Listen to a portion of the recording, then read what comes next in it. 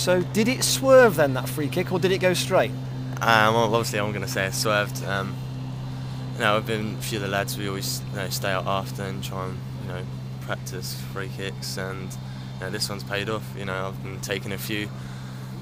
Some have been on target, and you know that, that one luckily went in. The one at Accrington stung the keeper's fingers, didn't Yeah. it? And people have been waiting for you to crash one in since then. Yeah, I've been waiting myself. You know, I've uh, speaking about you know uh, me wanting to score you know a few more goals, and you know I've got two and three games. Hopefully, I'll get a few more now. How hard was Monday after Saturday with, with a quick turnaround and the fact that Southend really pushed you after you got 2 0 up? Um, yeah, definitely. Obviously, you know, it was a great start going 2 0 up, but obviously, when you got a 2 0 lead so early on, you seem to, I think it's naturally to tend to, you know, may not sit, think the game's in the bag, but you know, you've got a comfortable lead, you may uh, take your foot off the gas a bit, but you know, I think you know, uh, credit to them, they did obviously seem to throw the kitchen sink at us, and you know, we handled with them well, and you know, got the three points, which is you know fully deserved considering the games that we have took the lead and you know not held on that one. I think you know we deserved considering all the games before that. One of the lads just gone out to training saying, What are you doing today? Passing and possession. I mean, that's that's that's 60% of uh, winning the game, isn't it? Actually keeping the ball and making sure that the opposition have to work hard to get it back. Yeah, obviously when you, you know, the more you've got the ball, the less you defend, and you know, the less you defend, the less like you're gonna concede goals. So, you know, especially in you know our team, I think that's you know majorly important. You know, the way we pass the ball, the way we keep it is a big part of our game. Northampton at home, they played, well, I think, end of an hour with 10 men. You had to work hard to break them down. Junior got the goal in the end, but Yeah. does that give you a, a steer as to how difficult Saturday's going to be? Yeah, well, I didn't. I sat the whole game on the bench, but um, you know the lads had to work hard for it. You know, especially with you know ten men, and they proved you know that they're a good, tough. You know, made it hard for us to play. So um, definitely be harder, especially away from home. But you know, away form seemed to have picked up. So hopefully we can carry on. Well, four wins already away from home. That, that, that says that you can, you can go to places and, and chisel out results. Well, yeah, you know, when I first came here, it seemed to, you know, that the home form was great, but the away form was not as good. But we seem to have turned that around now. So, look, if we pick points up at home and then obviously picking good points up away, you know, it leaves us in good stead. There has been some um, talk in the media about your position at Portsmouth. Yeah. That's come out from the Portsmouth end. What's what's your contract position at Pompey, and what's your understanding of the situation as it is at the moment?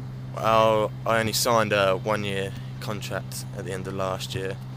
Um, you know, I I got offered two, but you know, I only ended up signing a one.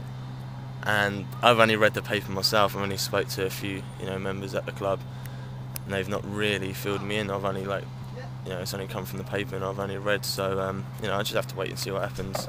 I just want to be playing here and play as many games as I can, and just wait until see at the end of the season. It's got to come from the horse's mouth from Steve, hasn't it? Really? Well, yeah, definitely. You know, it'd be uh, just give me a phone call and then tell me what's happening, really. But you know, I'm just going to concentrate on playing here. Is this as enjoyable a spell as you've had playing anywhere? Yeah, I, yeah, I said the other day it's probably the happiest I've been. Um, you know, getting a good run on the side, you know, playing playing okay, like consistently as a team and individual. So um, yeah, definitely I'm enjoying it. Do you want to think? Thank you. Arnold, things have sort of kicked off for you since that Northampton home game, haven't they? Since Yeah. you know, Bradford away, I think was just after that, and that's when you really came in a major mark, and you haven't really looked back since. then. Yeah, I've s- I've said it numerous times how much you know it's, it's frustrating being on the bench like it is for any other player, and uh, especially for me coming here wanting to play, coming on loan, and obviously spending time on the bench was you know not ideal, but you know I wanted to play. I know I knew as soon as I'd like get a good run on the side, I'd hopefully show you know my capabilities as a player and what I could bring to the Cheltenham side. Yeah, I know it's early days and you haven't spoken to Steve Cotterill yet, but if if you are, if you do find yourself a free agent at the end of the season, do you think a move here can be possible? Yeah, you know, i'd keep my um, my options open for anything. Like I said, you know, I'm only I'm only 19. I've played uh, you know, a number of games now, so hopefully I'd have you know good options come the end of the summer if it don't work out at Portsmouth. Yeah, and in knowing a club and enjoy, knowing that you're enjoying yourself at the club, do you think that can go a long way towards attracting you?